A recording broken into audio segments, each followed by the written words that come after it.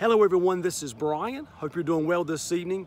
Want to come to you very quickly as a follow-up to the video I made last week in regards to the spacecraft being lifted off into outer space last weekend on May the 30th during the weekend of the Feast of Pentecost.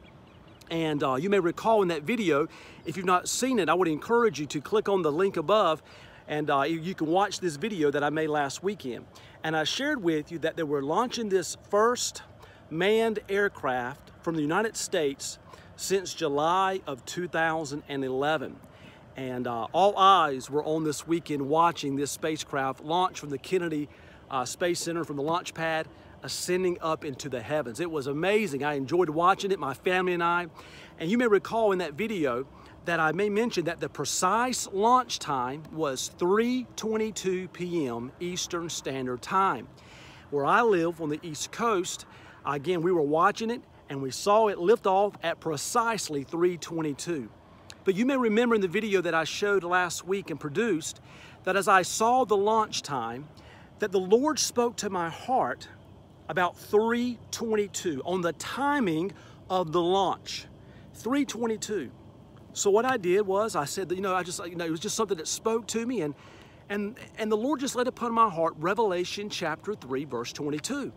So what I did, I looked up Revelation chapter 3, verse 22, and the Bible says, He that hath an ear, let him hear what the Spirit saith unto the churches. What the Spirit saith unto the churches.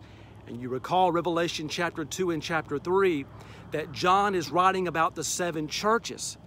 And you know, last weekend was also the feast of Pentecost, of the arrival of the Holy Spirit 2,000 years ago on earth. And also, too, we find about the launch of the church, and I use the similarity of the launch of this spaceship, this rocket into outer space, using that analogy that the, ch the church is going to launch once again.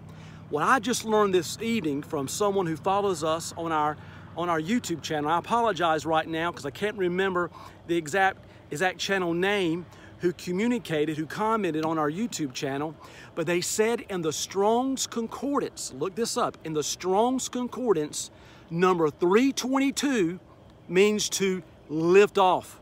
To lift off. Wow.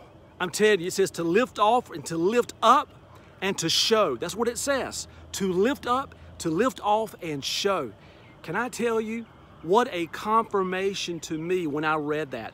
And I want to thank once again, again, I apologize because I cannot remember the individual who commented on my YouTube channel, but I want to thank you for bringing that to my attention. What a confirmation. Listen, on this channel, we will not set dates. We don't know when Jesus is coming, but this is for sure. Jesus is coming soon. I don't know when Christ is coming, but there's coming a time where the church, the body of Christ, is going to lose all gravitational pull and we're going to lift off this earth to meet the Lord in the air. That's a promise right from the words of the Bible. 1 Thessalonians chapter 4, verses 13 through verse 18. So I just want to give you that uh, update there that I learned this evening. It just, what an assurance and a confirmation to me. 322 Look it up for yourself. Revelation chapter 3, verse 22, and the very next verse, Revelation 4 1. It says, Come up hither. It's a rapture verse.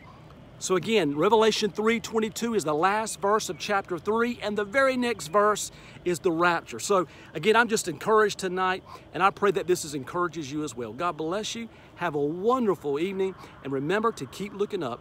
Jesus is coming soon.